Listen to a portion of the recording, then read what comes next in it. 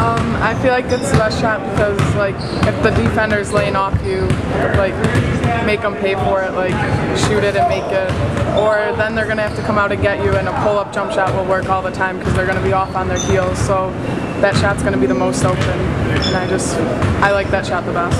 They normally play up on me, so it's harder to get like the open threes off. So I'll have to drive and pass or stuff like that. But they normally don't lay off because like then hopefully I'll shoot it. I've never really had a good jump shot, so like I still don't have a good one. I just have one this year.